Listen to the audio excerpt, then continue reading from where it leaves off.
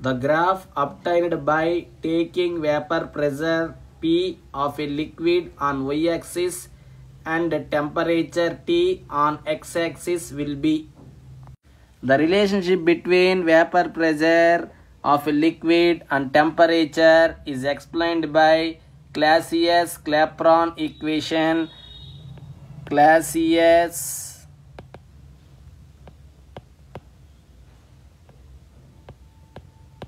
Clapeyron equation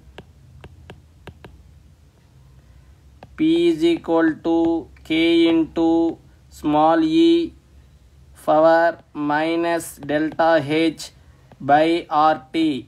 This equation explains the relationship between vapor pressure and temperature.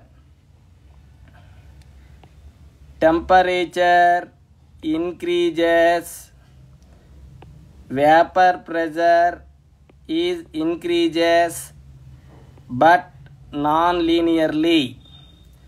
Very very important.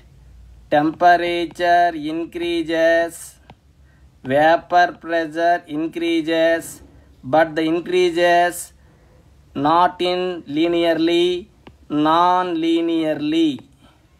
So option is third option.